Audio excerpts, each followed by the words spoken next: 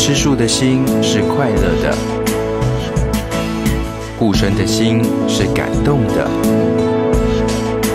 念佛的心是平静的，护持的心是感恩的。生命电视与您心心相系。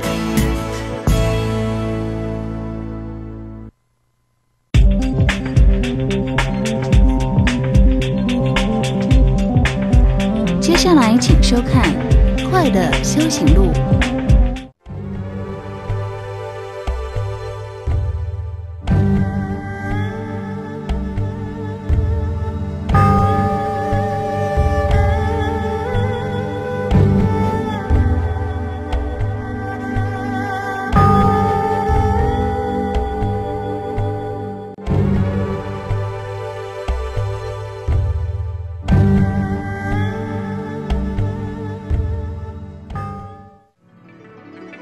尊贵的导师梭巴仁波切是耶喜喇嘛的新传弟子。两位喇嘛在一九六四年相遇，一九七一年在尼泊尔建立科盘寺，且一直为着把佛法介绍到西方的心愿而努力。一九八四年，耶喜喇嘛圆寂了，梭巴仁波切一肩独挑起领导护联会的重任。以不忍圣教衰，不忍众生苦的悲愿，始至圆满上师耶喜喇嘛的遗愿，要在印度建造一尊弥勒大佛，促使大乘教法常驻于世。仁波切所有的时间都用于修行或教导众生，终年马不停蹄地走访全球各地，推动种种弘法利生的事业。即使在视线变向的时候，仁波切仍然不愿放缓脚步。仁波切常说：“如果我活着的时候不能对众生有丝毫的利益，那我就没有存在的理由了。”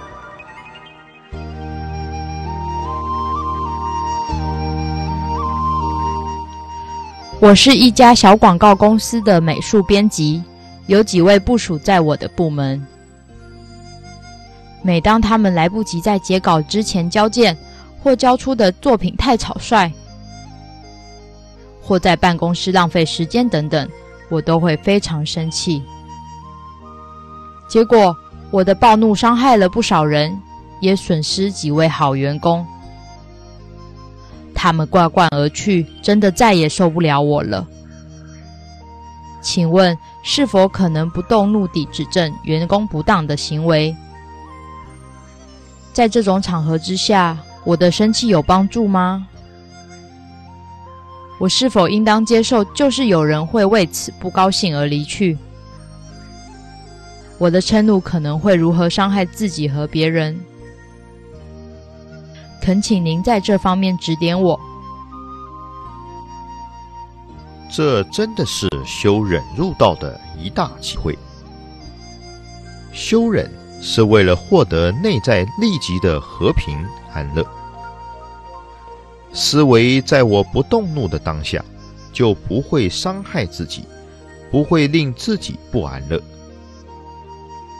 每当心转为恶心，就好比内在的一颗炸弹，在战争中被外在的炸弹炸死，不一定表示会堕入恶趣。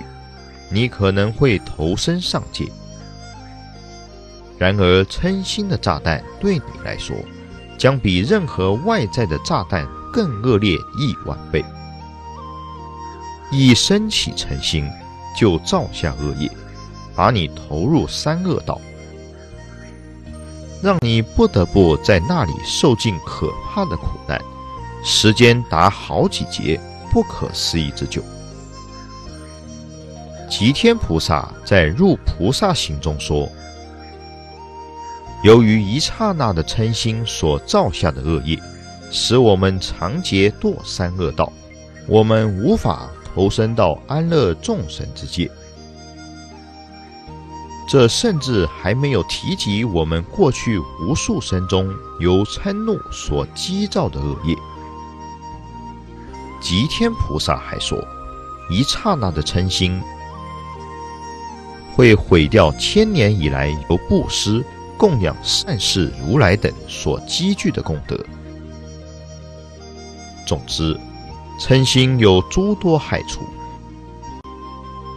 第一个害处是，嗔心会令你在三恶道受巨苦；其次是，嗔心会毁掉长劫的功德；第三个害处是，嗔心会延缓正悟，看你是对谁生气，对谁造恶业而有轻重之别。第四是，嗔心也会使你来生身形丑陋。修忍则会令你来生的身形端美。如上所述，生气对自己极为有害。光是生气一次都非常有害，由此可以想象，如果整天或好几个星期、好几年都在生气，将是多大的伤害？光是生一次气，就会带来那么多的苦。想想真是恐怖。思维：如果我生气，就不能够真正和别人共事，他们会不开心而离去，因为他们对你很不高兴。看到这种情况，也会令你不高兴。还有，你生气会让别人也生气，接着又令你更生气。你让自己变成别人的出气筒，用粗言恶语来伤害你、讨厌你。如果嗔心越演越烈，甚至会上升。如果你安忍，就不会对友情生气。这样一来，友情只会从你那里获得和平安乐。每当你修安忍而不动怒。便是对世界和平做出最实际的贡献，带给世界和内心极大的和平安乐。就其他友情来说，这不仅是为世界上的友情，而是为一切友情带来和平安乐。如果今生能够修安忍，来世就更容易修了。在日常生活中，越珍爱其他友情，怒气就会越少。思维自己所遇到的每一个人，都是过去诸多安乐的来源，也将是未来诸多安乐的来源，包括菩提道的诸多正量在内。所以要尊重别人，对他们修慈心。特别是那些对你生气的人。总之，结论是：一、修安忍；二、由念恩而爱惜其他友情；三、尊重其他友情；四、对其他友情修慈心。这样一来，人人都会喜欢你、支持你、当你的朋友。看到你的心有所转变、进展，会激励他们，他们会感到惊讶而改变对你的看法。嗔心的炸弹比任何外在的炸弹更糟糕。我的嗔心令别人不喜欢我，安忍令我安详。我越珍惜其他友情，怒气就会越减轻。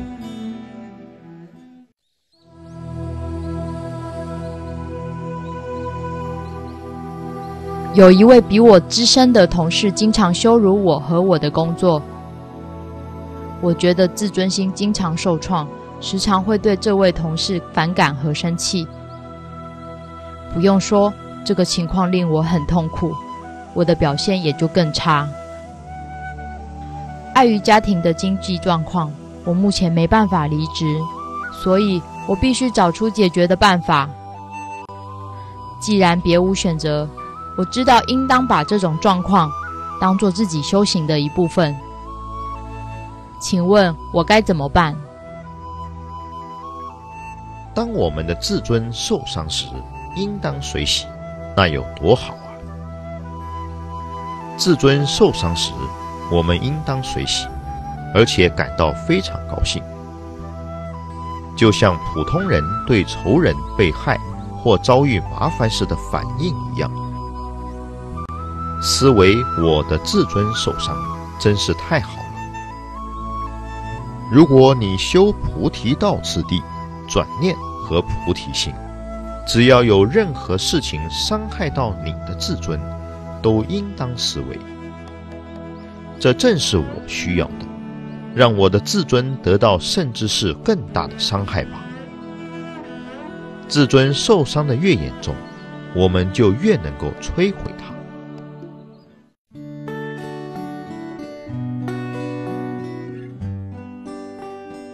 我有一个痛苦的童年，因而很难信任别人。我一直设法不要责怪父母和环境。并且试着去了解我的现况是自己的业。不过，我还是很难相信任何人。我不知道这算不算是一种贪执。就经验看来，我觉得这非常合理。谢谢您花时间思考我的问题。禅修慈爱，好让你的悲心增长。了解其他友情的苦。主要是切记慈爱。生命中有什么比菩提心更好？我遍满大乐，甚至连头发都是。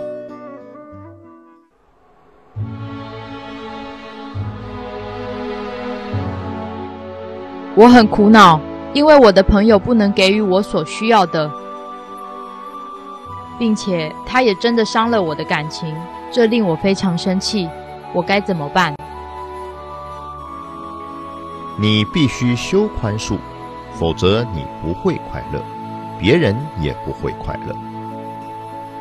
放下，把那件事情忘掉，不要再折磨自己了。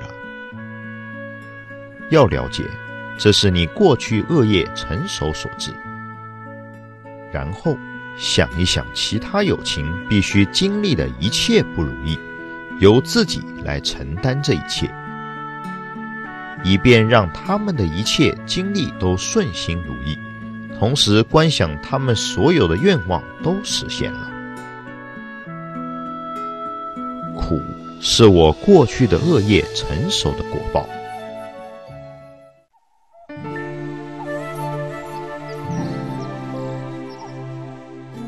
我认识的某人最近故意深深的伤害我。令我苦不堪言，想要报复。我知道这是不好的反应，不过却一直存在我的心中，挥之不去。我该怎么处理这些反感呢？以牙还牙，并不是明智的决定。无论如何，他们所做的事会伤害到自己，必定会自食恶果，不久就必须受苦。而且将来多生多世都必须经历逆境，千万倍于他们所做的行为。他们的作为完全是无知而愚蠢，没有比这更愚蠢的事。他们是在把自己投入地狱或剑刃上。如果你怀着嗔心反过来伤害他们，也会有同样的下场。这将令你长久陷入险境，千万生遭受伤害，时间长的难以置信。相反的，为了改变他们，你若以和平的方式善巧地回应，他们将会领悟到自己的过错。你没有反过来伤害他们，就不至于让自己。置身于比现在更恶劣的处境。如果你伤害他们，他们的亲友将变成你的仇人，再来伤害你，没完没了的冤冤相报。这是伤害和嗔恨导致的后果。如果我怀着嗔心反过来伤害他们，自己也会受苦。心的秘密，苦乐都造自自己的心，不假外求。自心既是乐因，也是苦本。得乐、喜苦，都必须在自心之内下功夫。心就像一个小孩子，需要我们注意与照顾。一会儿的闪失就会为小孩带来危险。心一有危险，就意味着你的生活有了危险，因为你的生活会被无名控制，而陷在业力当中，不断轮回下去，就如同捏手中的面团般，你必定可以随心所欲地扭转自己的心。你可以这样的修心转念，没有心，眼、耳、鼻、舌、身等感官所产生的看法也都不存在。没有心，就没有佛果、地狱、涅槃、生死轮回。没有心，什么都不存在。这意思是说，一切都来自心。我们认为由外在而来的安乐，实际上来自我们内在，来自我们自心之中。问题也一样。事实上，没有任何东西只来自外在，每件事都取决于你怎么想。虽然它或许显得从你的心之外而来，那些只是问题升起的助缘。让我们内心不安、不平、愤恨等等的因素，是因为生活上在刚碰到事情时，我们就贴上负面的标签，假立名言，糟，进而相信自己安利的标签，而最后就看到不好的、负面的、不想要的相。我的生活不好，这人不好。那件事不好，因为把事物看成不好的，它就变成不好，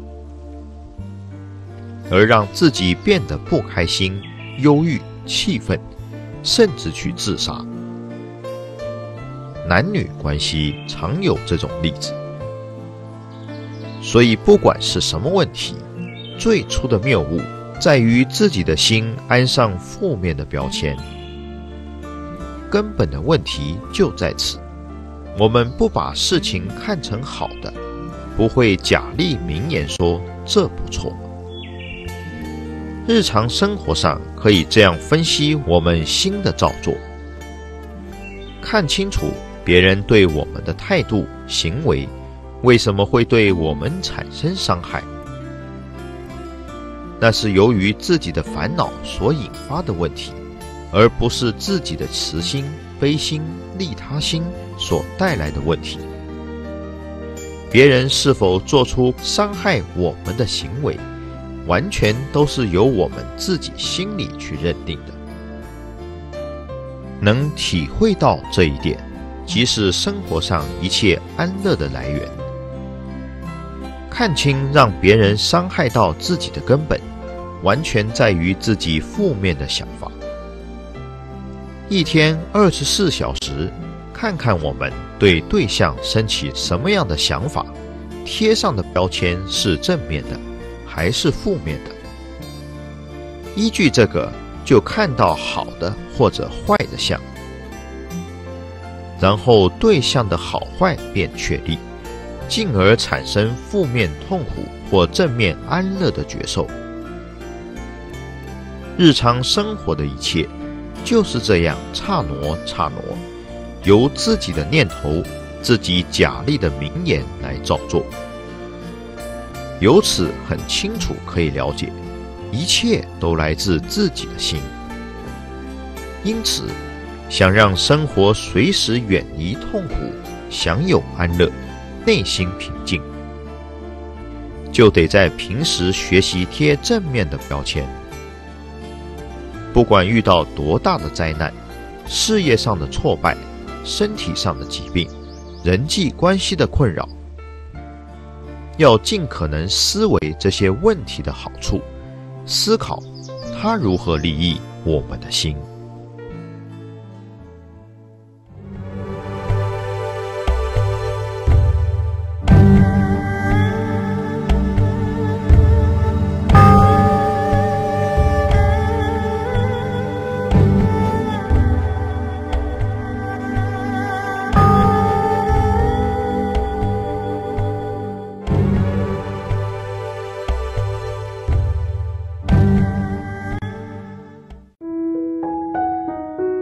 佛教慈悲置业基金会，佛教慈悲置业基金会以宣扬佛陀正法、培育优秀僧才、积极社会公益为旨志，在诸山长老、法师及各界大德的祝福下，财团法人佛教慈悲置业基金会于二零二零年十月正式成立，有继回归佛陀本怀，透过文化出版与媒体等多元形式，将佛法传扬于社会，并借由慈善公益的参与。落实大乘佛教之利他精神。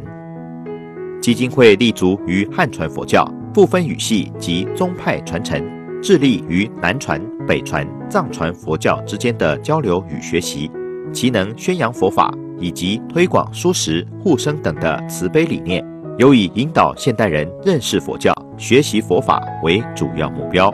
竭诚敬邀各界大德踊跃护持财团法人佛教慈悲置业基金会。欢迎您一起来推动慈悲置业的各项会务，一同为世界燃起正法之炬，照破黑暗，传灯无尽。会务介绍：护持弘法，培育僧才，僧前安养，医疗及生活救助，宣扬佛教教义与经典印制，佛教刊物、影片及电子多媒体弘法，设置传教场所、护生等之佛教弘法慈善护生相关活动。立案字号：台内名字第一零九零零五一一二零号，统一编号八七五一五四三四，通讯地址：宜兰县三星乡三星路二段二十二号，服务电话：零三九八九九三一九，随喜 triple w 点 life tv 点 org 点 tw，斜线 a d a t e 斜线 s u s。t a i n 点 h t m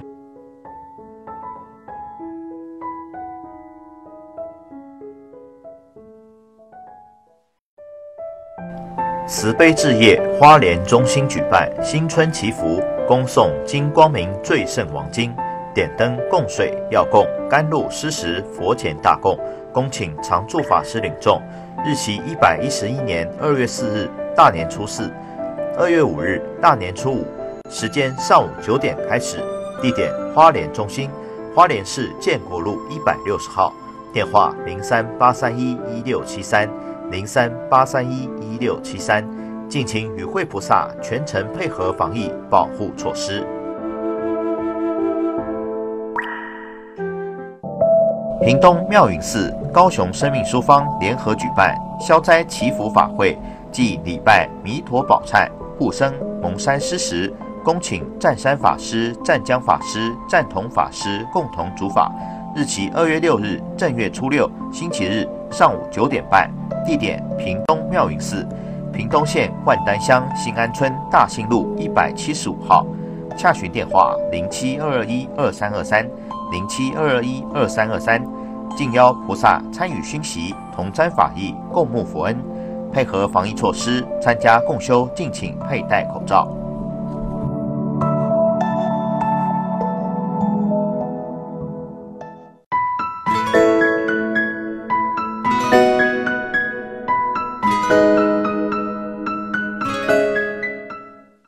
有些人觉得，如果我们去医院、殡仪馆，或者是去坟墓的时候，会给大家带来霉运。但是呢，清明节我们又必须要去扫墓。那师傅有有何看法？在佛教里面，佛教的精神就在于。要在痛苦的地方带来光明。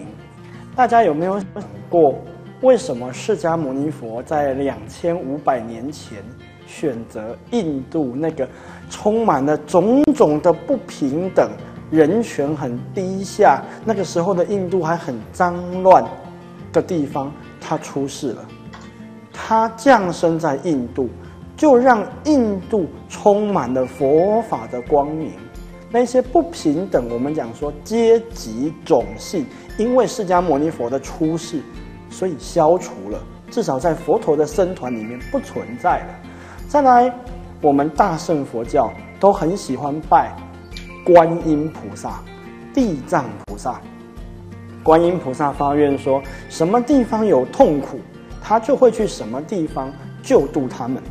那地藏菩萨发愿说，什么地方是最痛苦的，乃至于地狱道的地方，地藏菩萨都会去那个地方救度他们。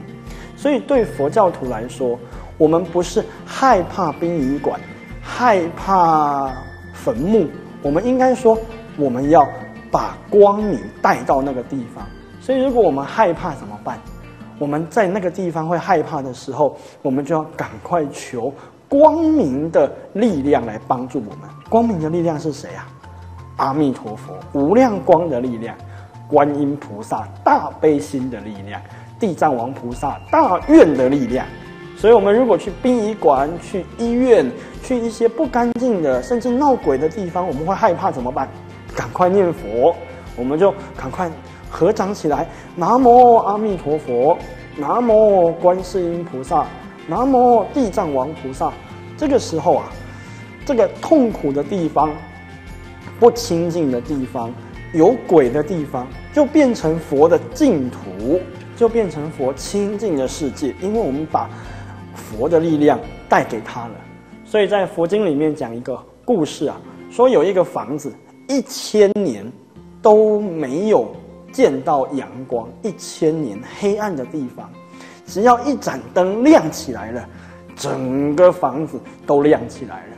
所以我们在痛苦的地方、有鬼的地方、不清净的地方，我们只要把佛的力量带去那个地方，哎，那个地方就变成清净的，那个地方就变成光明的。所以不是害怕它。你看哦，我害怕坟墓区，我害怕去医院，但是你还要去呀。你去的时候你就很害怕。因为你害怕，你就会有种种的烦恼、种种的妄想，然后到最后呢，你的情绪就越来越负面、越来越糟糕。这个时候呢，我们反而很容易被那些负面的力量影响到我们。所以，我们必须用正面的力量、佛的力量，带给那个痛苦的地方。我们要把地狱转化成极乐世界，要把这个五浊恶世转化成极乐世界。那要怎么转化？念佛，用佛的名号、威德力、佛的功德力带给那个地方，那个地方就变得很吉祥，那个地方就变得很清净。到时候呢，大家说我又要去扫墓了，为什么？我要去坟墓去念佛。我要去医院了，为什么？我要去医院念佛。透过这样子，我们就不会害怕，而且可以转换那个地方成为净土。这是佛教里面所讲的重点，就是把不清净的地方转化成清净，把痛苦的世界转化成极乐世界。那透过我们的力量，我们要一起努力，一起加油，把佛的力量带去那个地方。好。